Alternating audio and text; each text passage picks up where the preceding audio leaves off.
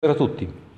Ecco, siamo tornati dopo alcuni giorni di, così, di, riflessione. Non è che abbiamo abbandonato il sito, eh, siamo sempre rimasti qui a presidiare. Ho pensato che fosse necessario un attimo distoglierci dai numeri, perché i numeri poi sono rappresentativi se visti su un arco di tempo, non giornalmente. E quindi ecco, adesso torniamo dopo alcuni giorni per esaminarli. E mm, parto dal solito dato che, perviene, che ci perviene dalla regione Emilia-Romagna, in questo caso specifico dalla provincia di Bologna, dall'USL. Ora, per quanto riguarda i, le persone positive, sempre riferite alla provincia di Bologna, sono 3.473, il trend si colloca sempre attorno al 2%, quindi siamo a livelli stabili a livello di provincia. Quelle persone in isolamento fiduciario 750, guarite 676, e decedute tre, oggi, ad oggi 378, più 8, quindi ancora un dato che fa pensare, fa, richiede attenzione. Per quanto riguarda San Giovanni in Persiceto, nel nostro territorio abbiamo 125 persone positive, un più 14, non è male. Isolamento fiduciario 25, quindi manteniamo lo stesso trend. Ricordo che l'isolamento fiduciario sono quelle persone che sono venute a contatto, o meglio, che ehm, sono poste in condizioni in modo tale che eh, potenzialmente potrebbero essere state contagiate dalle persone positive. In quarantena 92, persone decedute 12, quindi manteniamo i 12 dei giorni scorsi. Ora il balzo che si rileva, questa continua crescita degli ultimi giorni, eh, lo vediamo insomma con regolarità, è 14 la giornata di oggi, che non è poco, eh, lo eh, relaziona al dato che noi abbiamo sempre individuato, cioè alcuni focolai che sono, stati, sono generati nelle strutture protette. Nel caso specifico vorrei riportarvi all'attenzione quello che è il dato della, delle nostre situazioni che abbiamo individuato, quindi della casa di riposo, casa protetta, la CRA di San Giovanni e anche le altre strutture, eh, chiamiamo di eh, protette anche questo, che ospitano anziani, insomma. Villa Isabella e Villa Maria. Ehm, non sono aggiornatissimi questi dati perché oggi non li ho ricevuti, ho quelli di ieri, cioè 9-4.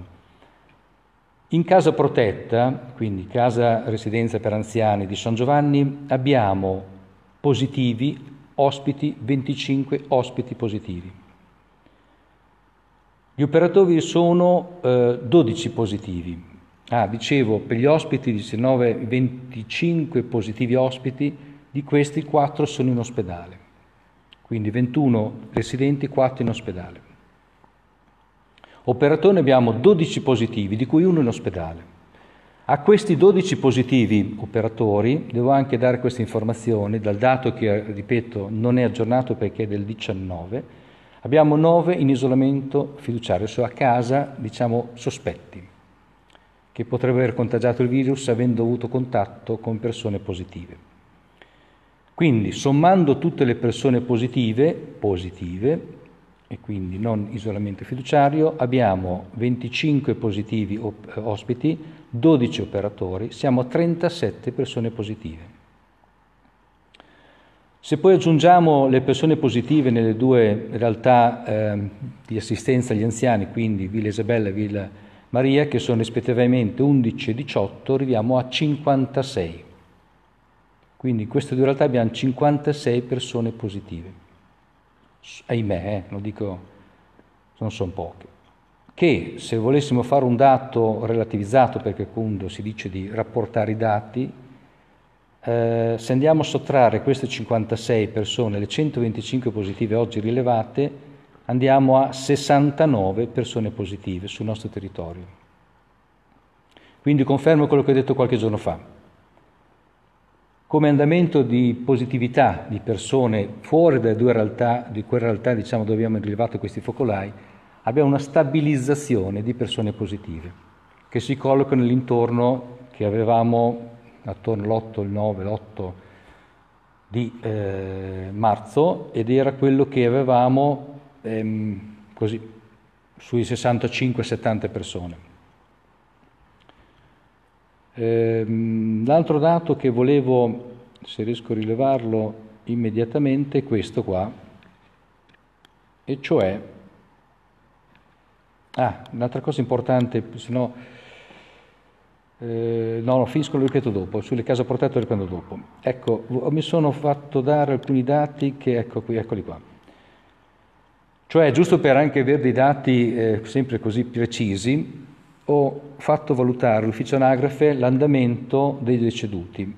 Eh, non è un esercizio di così di, è puramente informativo, è quello che voglio darvi come informazione, come dato. I morti residenti 2019-2020, morti deceduti in, eh, sul territorio di San Giovanni Pesiceto 2019-2020. Morti deceduti e residenti sul territorio di San Giovanni Pesiceto ad oggi, che da gennaio ad aprile, nel 2019 erano stati 104 nel 2020 109. Questo ho voluto fare per capire quanto il Covid-19 è inciso sulla mortalità del nostro territorio. Devo dire con sorpresa, ma questi sono dati chiaramente presi all'oggi, quindi vanno sempre visti con uno spazio temporale più ampio, come dicevo in premessa. Ve lo do così, eh, però non è che eh, vogliamo poi vederlo nel proseguo dei, dei, giorni qual è il dato effettivo, insomma, rappresentativo più preciso. Comunque ad oggi, dicevo, abbiamo che l'aumento nel 2020 maggiormente l'abbiamo avuto nei primi mesi, gennaio e febbraio. Rispettivamente di gennaio abbiamo avuto 4 persone in più morte nel 2020 rispetto al 2019 e 6 nel, febbraio, dal, ehm, più 6 persone nel 2019 rispetto al 2020, mese di febbraio. Quindi 6, 4, 10 più o meno, in più nel 2019. E quindi se andiamo a uh, andare sul dato definitivo, praticamente se togliessimo questo aumento, togliessimo diciamo, il dato più elevato nei primi mesi dell'anno, nei mesi, aprile, nei mesi di marzo e aprile, sul nostro territorio, nonostante il Covid-19, abbiamo avuto meno decessi nel 2020 rispetto al 2019. Mi sembrerà utile anche avere questo dato qui, quindi ribadisco, al di là dei primi mesi dell'anno, nei mesi che secondo noi abbiamo avuto in maggiore esposizione del Covid-19, i decessi marzo e aprile di oggi, eh, quindi riferiti al 20 di aprile, abbiamo avuto meno decessi nel 2020 rispetto al 2019 di persone residenti sul nostro territorio. Se viceversa andassimo anche sul dato complessivo dei morti che sono venuti sul nostro territorio, ricordo che noi segniamo i morti di qualsiasi tipo, quando accade un incidente stradale, un defunto in ospedale, in casa protetta, ecco, la registrazione viene sul eh, nostro anagrafe, su Persiceto. Quindi complessivamente, se dovessimo analizzare complessivamente il dato, quindi ripeto, tutto quello che è capitato, i decessi nel loro insieme sul nostro territorio, senza distinzione di appartenenza, quindi di residenza, dal 2019 al 20 di aprile sempre di quest'anno ehm, sempre, del, sempre, riferito alla data del 20 aprile, nel 2019 abbiamo avuto 141 decessi. Nel 2020, sempre al, 19, al 20 di aprile, abbiamo avuto 122 decessi. Quindi per dirvi che il trend, eh, così, nonostante il Covid, non è così negativo per quanto riguarda i decessi. Questo non vuol dire, dire che siano cose positive, eh? non sto dicendo che sia positivo questo, però un dato che dobbiamo sapere, dovete sapere il Covid non sta incidendo in maniera rilevante sull'andamento dei defunti, dei decessi. Dicevo caso protetta, giusto per completare il dato, ehm, noi abbiamo una situazione piuttosto preoccupante. Considerate che, vi ho detto prima che sono 12 operatori positivi e 9 in isolamento fiduciario, quindi vuol dire una ventina di persone che non operano più in casa protetta i due terzi di persone non lavorano più in casa protetta, quindi la situazione è molto, molto pesante da un punto di vista gestionale. Questa operazione così pesante poi si è avuto ripercussioni anche sulle informazioni che vengono date e devono essere date ai parenti delle persone ospitate. Allora mi sono attivato e ho richiesto, ho ricevuto oggi proprio l'informazione da parte del Presidente che ha messo a disposizione una figura professionale che risponde tutti i giorni dalle 10 alle 12 ai parenti delle persone ospitate. La persona è Renato Mazzucca, infermiere, che è presente in struttura, è stato assegnato a quella struttura, il cui telefono ve lo do, ma sarà anche riportato nei nostri siti, è 392 08 64 255. Risponde dalle 10 a mezzogiorno tutti i giorni alle persone che vogliono sapere come stanno i loro cari, i loro parenti, i loro eh, cari appunto presenti e ospiti nella struttura protetta, la nostra casa protetta. Era un argomento questo che spesso mi veniva chiesto, che non riuscivano ad avere interlocuzioni, quindi non riuscivano ad avere informazioni. Ora ho chiesto appunto di avere una figura che potesse rispondere con regolarità. Quindi sappiatelo, dalle 10 a mezzogiorno ci sarà qualcuno che risponde alle vostre domande. Ripeto, il telefono è 392 0864 255. Ecco, quindi volevo darvi queste informazioni di carattere generale, quindi vuol dire che le azioni che stiamo compiendo, che stiamo adottando, che stiamo rispettando sul nostro territorio, danno un mantenimento dello Stato, non c'è una crescita, quindi stiamo andando bene, continuiamo così, stiamo andando bene. Mi aspetto che ci sia un andamento riduttivo. L'altro dato che ho chiesto, che andremo a verificare nei prossimi giorni, è anche questo. Sappiate che io ho un'interlocuzione, non dico quotidiana, ma abbastanza frequente, con il referente dell'ASL eh, provinciale, dottor Pandolfi, il quale mi ha confermato che, eh, eh, dobbiamo sapere anche queste cose, è giusto che ve le dica, che le priorità che ha messo in campo l'ASL provinciale, a seguito di indicazioni chiaramente della Regione, ha dato queste priorità di intervento Parità di intervento vuol dire eh, entrare, capire, conoscere, solite cose che diciamo, tutti noi vorremmo capire e conoscere per agire di conseguenza. Capire e conoscere vuol dire fare tamponi, esami serologici, tutte queste cose qui che sono necessarie per, per inquadrare le questioni. Le priorità che sono date la, la, la, le ASL, che è l'indicazione che ha ricevuto anche l'ASL eh, della provincia di Bologna, le priorità, dicevo, sono queste. Primo, intervento sulle strutture ospedaliere personale sanitario, ospedale, CRA, strutture protette. Quindi qui in queste strutture si effettueranno con regolarità e direi quasi in orizzontale, così mi è stato detto, tamponi e esami serologici, per capire come si è messo a isolare le persone negative da quelle positive in sostanza. Due, seconda priorità sono le persone diciamo, sempre appartenenti al settore sanitario, per, che, però che operano sulla, sul territorio, quindi medici di famiglia, eh, infermieri che agiscono sul territorio, quindi capire anche lì come siamo messi. Questo è un dato che mi interessa molto, anche per una logica di positività, perché sono anche convinto che in queste informazioni che ci arriveranno, infermieri o anche persone che operano in diretto contatto con le persone, anche se non sono in struttura, probabilmente sono più esposte rispetto ad altre persone, ad altri comuni cittadini. Terza priorità che è data, sempre data alla Regione, quindi l'USL, è intervenire quindi tamponi esami sierologici sempre sulle, perso- sulle forze dell'ordine, polizia, carabinieri, polizia locale, vigile del fuoco e così via. Infine la quarta priorità è, la, qui rimaniamo noi, la popolazione. È chiaro che si è arrivato a dare, questa, a dare questa priorità perché non si riesce, e così mi confermano, ad agire orizzontale, quindi non ci sono sufficienti risorse e eh, chiamiamoli reagenti, reagenti per effettuare tamponi o esami eh, sierologici su, tutti, su, tutte le persone.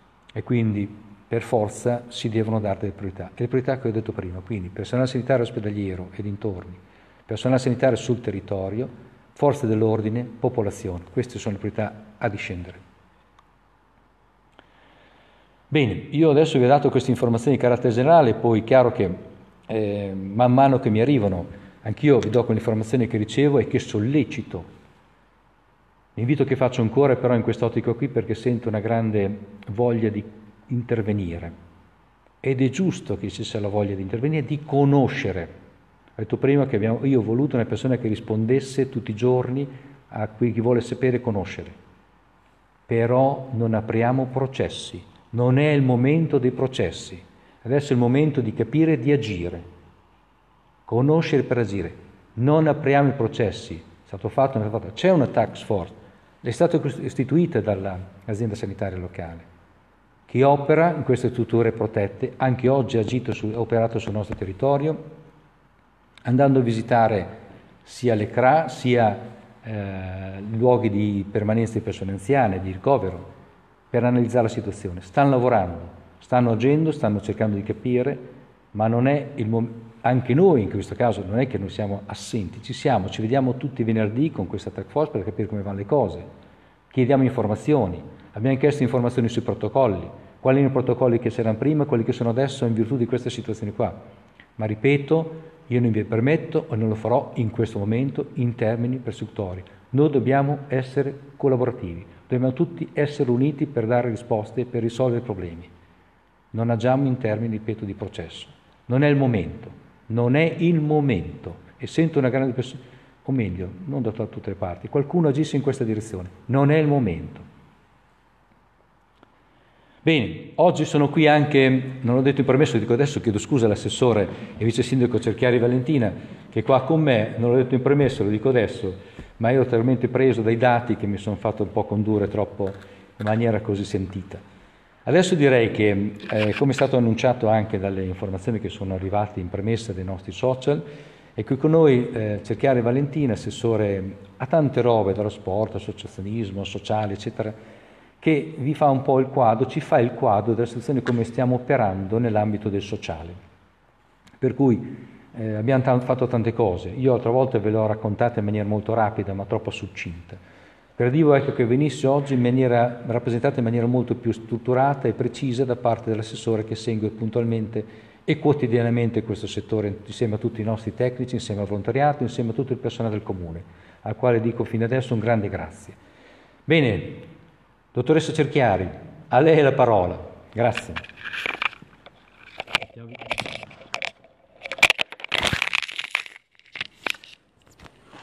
Allora, buonasera a tutti e ringrazio il Sindaco per avermi dato questa possibilità questa sera. Io ci tenevo in particolar modo, come ha già detto il Sindaco, a ringraziare tutti gli uffici comunali, le assistenti sociali, gli amministrativi e, e, tutti i volontari che con noi hanno collaborato da subito per la gestione di questa emergenza. Perché sì, si tratta sicuramente di un'emergenza sanitaria, ma è soprattutto, qua, per quanto mi riguarda, un'emergenza sociale. Eh, l'obiettivo che ci siamo dati subito nei primi giorni era quello di cercare di dare risposte a tutte le persone che normalmente eh, usufruivano dei nostri servizi a domanda individuale mi spiego, eh, vi faccio un esempio, ci sono tante persone che normalmente, tanti anziani, frequentano i centri diurni, i centri socio-ricreativi e che improvvisamente si sono visti eh, togliere questi servizi per esigenze dovute al Covid-19. Quindi come potevamo farci sentire ancora vicini e non perdere questo rapporto di fiducia che si crea eh, in tanti anni, ma anche solo in, in piccoli periodi in cui le persone usufruiscono dei servizi. Ecco la domanda che ci siamo fatti e abbiamo cercato di rispondere nel migliore dei modi. Abbiamo subito contattato le associazioni di volontariato che normalmente co- sono coinvolte nell'attività ordinaria del comune e abbiamo chiesto loro di fare uno sforzo maggiore. Devo dire che c'è stata una risposta immediata. Abbiamo cercato di avere più volontari e la eh, risposta è stata eh, al di là di ogni aspettativa. Abbiamo, avuto una, eh, abbiamo circa 100-130 volontari disponibili a partire, ora non sono tutti attivi, ma cercheremo di turnarli e far sì che tutti possano essere attivi nei vari progetti che abbiamo messo in campo. Siamo partiti subito con la spesa a domicilio in modo tale che le persone più fragili non si sentissero obbligate ad uscire di casa, ma abbiamo fatto di più. Eh, appunto le persone che, in, che sono, si sono viste costrette a rimanere a casa dai centri diurni abbiamo pensato di contattarle. Sono 156 le persone che due volte alla settimana vengono contattate sia dai volontari che dagli assistenti sociali per mantenere questo filo diretto col comune, ma anche per capire se c'è qualcosa in più che possiamo fare per loro. Abbiamo attivato un supporto psicologico con, un, con una convenzione con gli psicoterapeuti di MDR che fanno eh, un supporto psicologico appunto di tre o quattro sedute stessi assistenti sociali ehm, in modo in questo periodo di grosse difficoltà. Abbiamo attivato la solidarietà nel piatto, solidarietà nel piatto che coinvolge circa eh, 12 esercizi commerciali sul territorio, in realtà l'elenco degli esercizi commerciali che ha deciso di partecipare a questa iniziativa è in continuo aggiornamento, per cui invito i cittadini a rimanere in contatto con i canali eh, del comune in modo tale che sappiate dove avviene questa raccolta.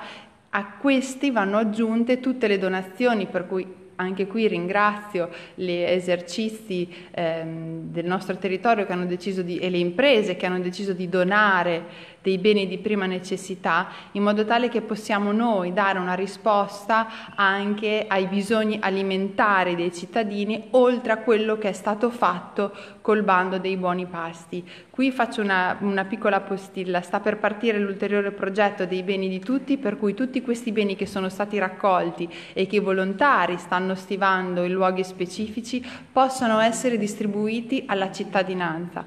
Verranno distribuiti a chi è in difficoltà per la situazione dell'emergenza Covid-19. Da, già da domani partiranno delle email a chi ha presentato la domanda per poter accedere ai buoni pasto, sia a chi è stato, diciamo così, accettato perché aveva le caratteristiche, rispondeva ai requisiti previsti nel bando, ma anche a chi è stato escluso, più a una serie di persone che hanno contattato i servizi sociali perché in difficoltà. Quindi cercheremo di distribuire cibo e beni di prima necessità alle persone che in questo momento ne hanno bisogno. Volevo dire questo, non vi sentiate ehm, in difficoltà rispetto a fare una telefonata al comune se avete questo tipo di esigenza, cercheremo di rispondere a tutti. I volontari poi si sono attivati anche per consegnare le, le, famose mascherine. Vi do un po' di numeri anche se il sindaco ne ha parlato tanto in questi giorni, ma anche qui sono numeri in continua evoluzione. Sono state consegnate 2.000 mascherine nei supermercati, spedite 12.600 mascherine eh, grazie a, a, che sono quelle insomma, che sono arrivate dalla regione Emilia-Romagna, ma grazie anche ai volontari che ne hanno imbustate e preparate, 140 mascherine per bambini che vengono consegnate alle cartolerie edicole insieme a altre 870 eh, mascherine per adulti, più tutte quelle che stanno arrivando. Continueremo con questa eh, procedura, le daremo a tutti tramite i volontari. Ecco, ehm, ci tenevo a concludere dicendo questo. Ehm, siamo in emergenza, Stiamo cercando di gestire nel migliore dei modi. Abbiamo ampliato gli orari di, ehm, delle, delle, assistenti sociali, sono sempre a disposizione tramite una telefonata, ma noi siamo qui ancora anche per quella che è l'ordinaria attività dei servizi sociali. Quindi non smettete di contattarci, cioè se ci sono necessità dal punto di vista anche dell'assistenza domiciliare per gli anziani o altro tipo di necessità, noi ci siamo e questo è il messaggio che deve passare stasera. Il comune c'è, cercherà di dare risposte nel miglior modo possibile a qualsiasi, qualsiasi esigenza che il cittadino abbia. E, ehm, e, poi direi insomma che più o meno vi ho, vi ho, trasferito tutte quelle che sono le attività che noi stiamo facendo. Aggiungo anche che le assistenti sociali, giusto per concludere, contattano anche tutti i cittadini che sono quarantenati o che sono in isolamento fiduciario nel caso in cui abbiano delle esigenze anche per essere indirizzati rispetto a quelli che sono i servizi previsti ad hoc per loro in questo momento eh, temporaneo, in, in, questa situazione temporanea in cui si trovano. Ecco. Ehm, direi che vi ho, vi ho un po' raccontato tutto. Grazie.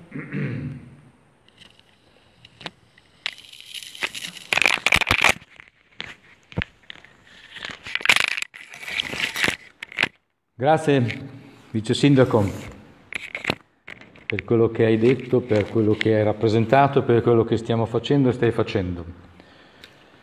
Adesso vediamo un po' di vedere qualche quesito che mi è stato posto. Ecco, in primis perché vedevo scorrere tante volte per Siciliani, non è che voglia fare la differenza tra Siciliani e non, è che nel dare il dato complessivo, quando eh, si definiscono le incidenze di mortalità, per esempio, il dato che emerge è come uno eh, muore San Giovanni perché è in ospedale ma arriva da un'altra situazione, oppure un incidente stradale, uno transita su San Giovanni, l'assegnazione viene sul territorio di San Giovanni.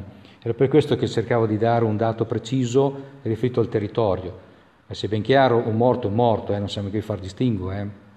c'è chiaro. Ci tengo però perché si venga, come dire, dato il giusto contributo al nostro territorio perché noi abbiamo, uno, abbiamo una CRA, abbiamo un ospedale, abbiamo strutture protette, quindi è giusto che diamo anche informazioni precise in questo senso.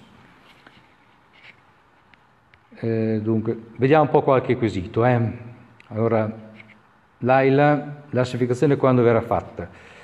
Sì, qui ormai è un tema che è ricorrente, lo sto dicendo un po' di tempo. Eh, io una, più che una sanificazione farei proprio una pulizia, perché sanificare vuol dire usare prodotti che maniera molto, se vengono usati in maniera spinta, ad oggi l'AS non ci dà particolare eh, dire, ehm, eh, sostegno sul fatto di usare prodotti che vadano a incidere pesantemente sulla sanificazione del territorio esterno. Poi questo non capisco, tutti uguali, ma Ruggero, magari forse ho capito male io. Eh... Ecco, questo ci chiede Elena. È vero, la gente ha voglia di uscire a spazio all'aria aperta. Ci chiediamo l'ultimo sforzo, sono convinto che nel breve tempo avremo anche questo tipo di ritorno, nel senso che, eh, stante le situazioni, che abbiamo queste curve che non sono più, queste rette o curve che siano non sono più in salita, eh, la tendenza a breve, a mio parere, avremo una, sicuramente una discesa per cui anche a livello nazionale si apriranno queste possibilità di poter avere la possibilità di uscire e di riutilizzare i nostri spazi all'aria aperta. Per oggi però le misure sono ancora vigenti. Se nulla cambia fino al 3 di maggio saranno queste le misure che dovremo ancora mantenere.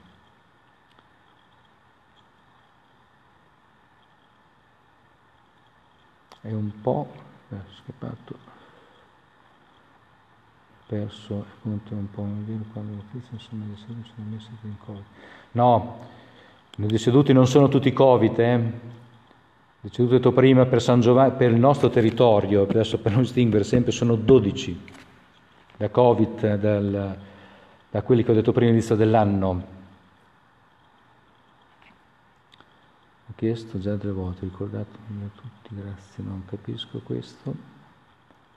Eh, tutti il Covid.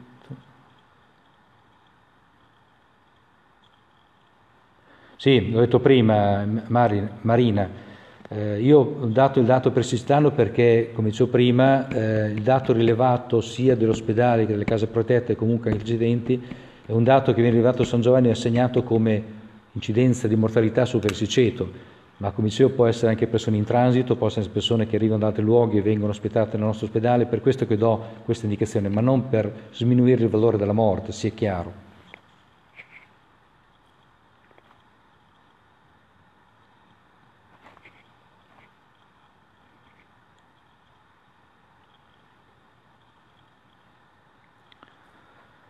Dunque, qua, ecco, sono tutte te- citazioni, quindi vado un po' veloce. È vero, Sebastian, i tamponi andrebbero fatti un po' su tutti in maniera, come prima, orizzontale, ma non ci sono, non ci sono le condizioni, né economico né, né economico forse potremmo anche farlo, non ci sono gli reagenti, non c'è la possibilità di farlo. Come dicevo prima, l'ordine, grande, l'ordine di priorità è, è, la popolazione posta a seguire rispetto alle altre, che sono rispetto sanitario ospedale, sanitario territoriale, forze dell'ordine e poi popolazione.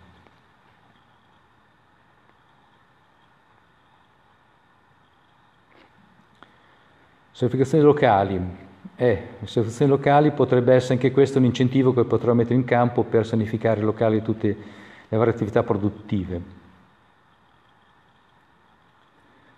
Marco, già detto prima, esami sierologici sono, seguono quelle indicazioni di priorità che dicevo. Elena, i cimiteri perché non aprirli? Abbiamo un disposto regionale che ci dice che i cimiteri devono rimanere chiusi, devono rimanere chiusi è un'ordinanza del Presidente della Regione Emilia-Romagna, quindi io non posso andare oltre, noi possiamo solo restringere quelle che sono ordinanze a livello superiore. Quindi la gerarchia è Stato, Regione, Comune. Io non posso fare di più, posso fare solo, non posso fare di meno, scusate, rispetto a quello che mi viene a livello superiore, posso fare di più. Cioè, se ad esempio i cimiteri fossero mantenuti aperti, li potrei chiudere, ma siccome è stato detto che essere chiusi, non posso aprirli.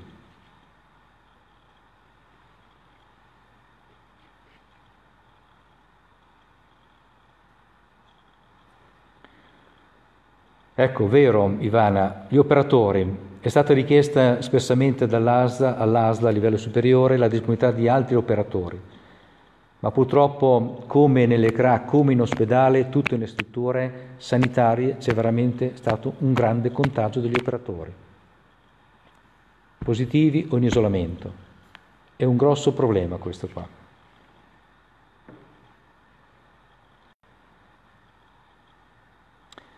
Sebastian, sì, è vero, sarebbe necessario fare tutti, a tutti quanti i tamponi che tornano, per le persone che vanno a lavorare, che fare i tamponi per capire, siamo sempre lì. Eh, bisognerebbe riuscire ad avere il quadro complessivo. Quando noi abbiamo un quadro complessivo riusciamo in grado di agire, ma se non abbiamo le informazioni dettagliate bisogna applicare le cosiddette misure di prevenzione, che sono sempre le stesse, DP, cioè usare mascherine, distanziamento, igiene personale.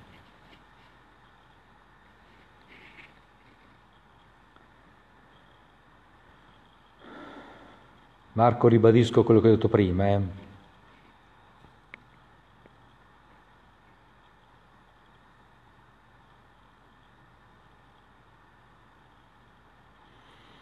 Eh, Paolo mi dice allora fino a venerdì andavamo male perché troppa gente in giro, ora tutto bene perché muoiono si mette... No, no, no, questa è una provocazione.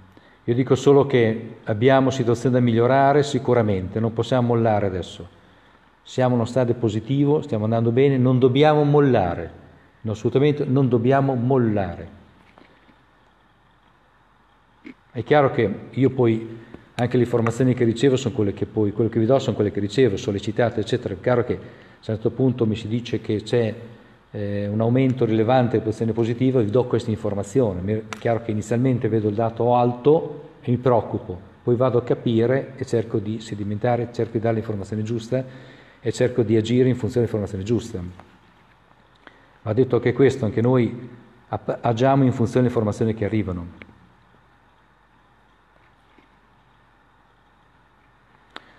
Alberta, eh, il tampone a domicilio anche qui in funzione della situazione, quindi l'ASL decide quale priorità darsi. Ho detto prima quali sono le sequenze di priorità. È chiaro che se c'è una situazione da risolvere, particolare, l'ASL può decidere di intervenire per effettuare il tampone.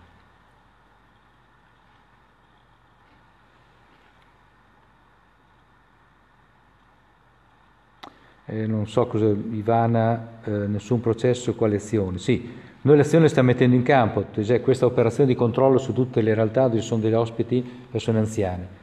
Task Force è attivata, va a controllare tutte queste realtà, poi ci riferirà come saranno le cose, se sono applicati i protocolli, come vengono applicati, come vengono gestiti, eccetera, eccetera. In sostanza se le misure di prevenzione sono applicate. Queste sono le misure che mettiamo in atto. Chiaramente nel caso protetto anche qui ci sono una serie di protocolli che adesso non vi sto a indicare, ma è chiaro che separano le persone positive da quelle non positive, eh, quelle negative, c'è tutta una separazione, quindi mantenere le persone isolate, ecco, c'è tutto un protocollo che viene seguito anche nelle case protette. Eh, Samantha, protocolli anche nei supermercati perché eh, siamo sempre lì. Secondo me l'azione diciamo, dovrebbe essere davvero capillare.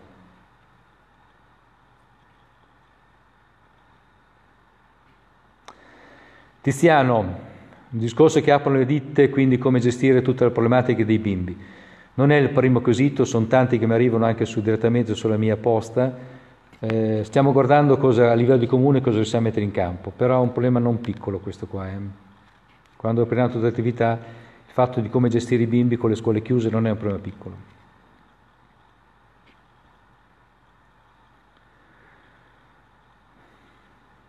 Marco, l'uso delle mascherine obbligatorio. E noi stiamo ancora, diceva prima l'assessore, distribuendo ancora mascherine. Ne abbiamo già confezionate altre 2000, le andremo a distribuire in questi giorni in luoghi diciamo, di eh, presenza del, delle persone, del pubblico, del pubblico, delle persone che vanno e utilizzano e frequentano gli esercizi aperti, autorizzati a essere aperti.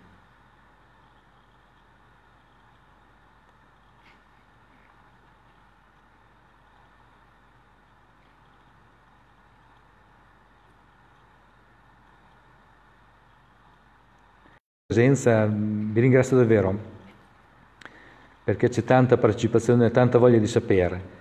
Noi chiaramente ce la mettiamo tutto per dare tutte le informazioni a tutti voi che siano più precise possibili. Poi a volte non si riesce a entrare troppo nel merito perché anche noi facciamo fatica ad avere queste informazioni, cioè, nonostante che ci adoperiamo per averle.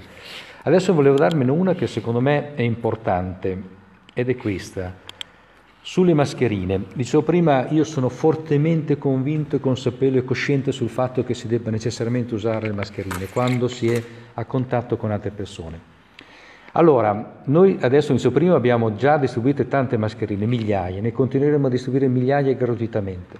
Voi sappiate che sono disponibili ormai in quasi tutti gli esercizi, quindi ormai la presenza c'è.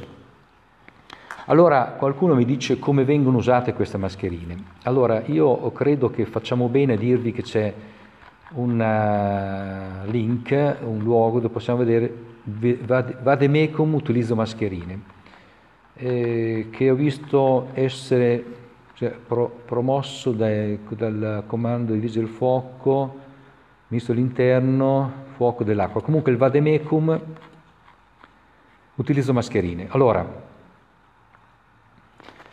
noi insistiamo molto sulle mascherine che stiamo distribuendo. Eh, solo una precisazione, ma non voglio essere troppo ridondante. Le mascherine che possiamo avere sono queste, col filtro e anche questa azione, diciamo, mobile, tra virgolette, con la valvola, come viene definita, che consente l'esalazione. Chiude, protegge quindi l'operatore. Questo è un DP, come si dice in gergo tecnico. Protegge l'operatore. Chi lo, chi lo indossa. Però siccome c'è una valvola che si apre, quindi c'è un'emissione, quindi c'è un'esalazione. Protegge la persona, ma si può emettere. Poi c'è la, la mascherina chirurgica, che protegge l'esterno, quindi protegge l'esalazione, ma non l'operatore. Ci hanno consegnato queste mascherine, qualcuno definiva di poca efficacia, comunque sono state consegnate dalla protezione civile migliaia, quindi arrivano direttamente dalla protezione civile. Sono mascherine molto semplici, non definire neanche mascherine, un panno piegato. Poi ci sono queste la FFP2 che proteggono sia l'entrata che l'uscita e quindi filtrano molto e sono anche faticose da portare, tra virgolette, perché queste con la valvola chiaramente eh, favoriscono l'uscita dell'aria, quindi sono meno faticose da portare. Cosa voglio dirvi con questo? Che noi, e poi adesso abbiamo un'altra mascherina che non qua, quella di, di stoffa, se riusciamo a recuperarla. Eh, cosa voglio dirvi in quest'ottica qua? Che noi, adesso non entriamo nel merito di chi deve usare e chi non usare la mascherina, perché chiaramente i medici sanno quello che devono fare, io non agisco in quella direzione. Voglio solo dire che questa informazione che è arrivata, che potrete scaricare, eh, da internet, ci dice in sostanza che per noi, per noi comuni cittadini che siamo fuori tutto il giorno, è consigliato usare primariamente quel tipo di mascherina qua, che è l'FFP2, che protegge sia l'esterno che l'interno, oppure se vogliamo la mascherina chirurgica, che sarebbe questa, oppure noi adesso stiamo recependo da una da ditte qui locali, tra cui anche una nota produttrice di macchine eh, sportive del nostro dintorni, mascherine in tessuto. Queste mascherine in tessuto e mascherine che ci consentono di contenere diciamo, l'emissione di, ehm, di quella che può essere la nostra uscita, la nostra esalazione. Quindi noi stiamo spingendo perché si usino queste mascherine, soprattutto chirurgiche, se vogliamo più semplice, non sono diciamo marchiate queste, che consentono maggior ragione queste ancora meglio, che consentono di proteggere noi e anche gli altri. Quindi eh, l'invito è, noi stiamo distribuendo queste mascherine, di usarle con regolarità. L'unica cosa che è meno efficace è questa qui con la valvola, per quanto riguarda la contaminazione generale.